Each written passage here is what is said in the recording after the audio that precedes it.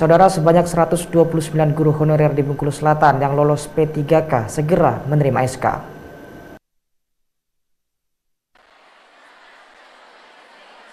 Setelah melalui penantian panjang, akhirnya sebanyak 129 guru honorer di Bengkulu Selatan yang lolos P3K akan segera menerima SK pengangkatan dari Bupati. Saat ini SK 19 guru tersebut sedang proses pencetakan di Badan Kepegawaian dan Pengembangan Sumber Daya Manusia.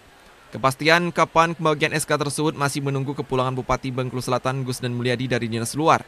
Pemerintah daerah Bengkulu Selatan memastikan bahwa SK guru P3K tersebut akan dibagikan secepatnya. Begitu juga dengan penggajiannya. Pemerintah daerah telah menyiapkan anggaran gaji guru P3K melalui APBD. Kepala Dinas Pendidikan dan Kebudayaan Bengkulu Selatan Novian menyebut bahwa semua persyaratan administrasi pengangkatan guru P3K tidak ada masalah dan sudah tuntas guru P3K agar bersabar dan tetap menjalankan tugas seperti biasanya. Uh, kalau menurut kami secepatnya itu, pasti secepatnya. Juni, bulan Juni ini? Uh, nanti kita ketemu dulu dengan Pak Bupati. Insya Allah setelah Bupati pulang dari dinas luar, kami akan mendampingi mereka bersama-sama dengan PGRI.